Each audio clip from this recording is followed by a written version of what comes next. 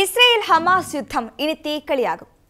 ആണവായുധം പോലും കണ്ണും മൂക്കും നോക്കാതെ തൊടുക്കുന്ന ഒരു സ്വേച്ഛാധിപതി. അതെ അദ്ദേഹം കൂടി ഇനി ഈ യുദ്ധത്തിൽ പങ്കാളിയാകുന്നു. ചൈനയല്ല റഷ്യയല്ല ലബണനല്ല സിറിയയല്ല.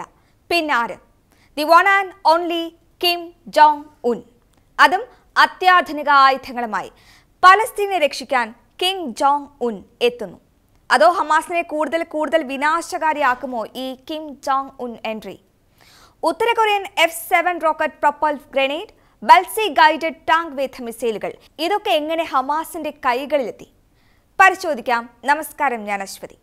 ഇസ്രയേൽ ഹമാസ് നടത്തുന്ന യുദ്ധത്തിനിടെ ഉത്തര കൊറിയൻ നേതാവ് കിം ജോങ് ഉൻ മിഡിൽ ഈസ്റ്റിലെ തീവ്രവാദ ഗ്രൂപ്പുകൾക്ക് ആയുധം വിറ്റേക്കുമെന്ന സുപ്രധാന റിപ്പോർട്ട്. പലസ്തീനികളെ പിന്തുണയ്ക്കാൻ കിങ് ജോങ് ഉൻ തന്റെ ഉദ്യോഗസ്ഥരോട് ഉത്തരവിട്ടുവെന്നും മിഡിൽ ഈസ്റ്റിലെ തീവ്രവാദ ഗ്രൂപ്പുകൾക്ക് ആയുധങ്ങൾ വിൽക്കുന്നത് പരിഗണിക്കുന്നുണ്ടെന്നുമാണ് ഏറ്റവും പുതിയ റിപ്പോർട്ടുകൾ. ദക്ഷിണ കൊറിയയുടെ രഹസ്യ അന്വേഷണ ഏജൻസി ഉദ്ധരിച്ചാണ് ഈ റിപ്പോർട്ട്. ആണവ പദ്ധതിയുടെ പേരിൽ യു എൻ ഉപരോധം നേരിടുന്ന ഉത്തര കൊറിയ മുൻപ് റോക്കറ്റ് ലോഞ്ചറുകൾ ഹമാസിന് വിറ്റിരുന്നുവെന്ന് ദക്ഷിണ കൊറിയൻ നിയമനിർമ്മാതാക്കൾ പറയുന്നു. ഗാസയിലെ യുദ്ധത്തിനിടയിൽ കൂടുതൽ ആയുധങ്ങൾ കയറ്റുമതി ചെയ്യാൻ ഉത്തര കൊറിയ ശ്രമിച്ചേക്കും. യുദ്ധത്തിൽ നിന്ന് പ്രയോജനം നേടുന്നതിനായി കിങ് ജോങ് ഉൻ പലസ്തീനിന് പിന്തുണ തേടിയതാണെന്നും ദക്ഷിണ കൊറിയയുടെ നാഷണൽ ഇന്റലിജൻസ് ഏജൻസിയുടെ ഡയറക്ടർ കിം ക്യുഹ്യൂൻ പറഞ്ഞു.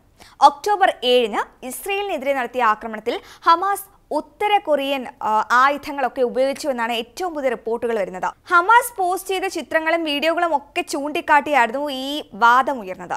കവചിത വാഹനങ്ങൾക്കെതിരെ സാധാരണയായി ഉപയോഗിക്കുന്ന ഉത്തര Korean F seven rocket propelled ഗ്രനേഡാണ് ഹമാസ് ഉപയോഗിച്ചത്.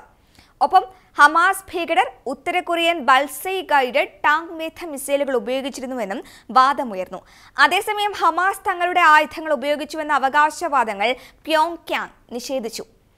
ഇത് യു എസ് പ്രചരിപ്പിക്കുന്ന അടിസ്ഥാനരഹിതവും വ്യാജവുമായ കിംവദന്തിയാണെന്നായിരുന്നു പ്രതികരണം.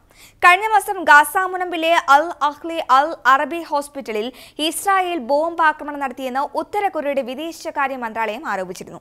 ഇതിൽ യു എസിനെ ഉത്തര കൊറിയ കുറ്റപ്പെടുത്തുകയും ചെയ്തു. മാത്രമല്ല ഇതിന്റെ ഉത്തരവാദിത്തം നിഷേധിച്ച ഇസ്രായേൽ ഹമാസിന്റെ റോക്കറ്റ് വിക്ഷേപണം പരാജയപ്പെട്ടതാണ് സ്ഫോടനത്തിന് കാരണമെന്നും പറഞ്ഞു. ഇസ്രായേലും ഹമാസും തമ്മിലുള്ള യുദ്ധത്തിന്റെ ഇരുപത്തി അഞ്ചാം ദിവസമാണ് ഇസ്രായേൽ സൈന്യം ഗാസയിൽ പ്രവേശിച്ചത്. മാരക ആയുധങ്ങളുമായൊക്കെ കുറ്റിക്കാട്ടിൽ ഒളിച്ചിരുന്ന ഇസ്രായേൽ സൈനികർ മുന്നോട്ട് നീങ്ങുന്നതും വെടിയുതിർക്കുന്നതുമൊക്കെ നാം കണ്ട കാഴ്ചകളാണ്. ഗാസ നഗരത്തിൽ എങ്ങും വെടിയുണ്ടകളുടെ ശബ്ദവും തീയും പുകയും മാത്രമാണ്. ഹമാസിനെ ഉന്മൂലനം ചെയ്യാനാണ് ഇസ്രയേൽ സൈന്യം ഗാസയിലേക്ക് കടക്കുന്നത് എന്നാണ് വാദം.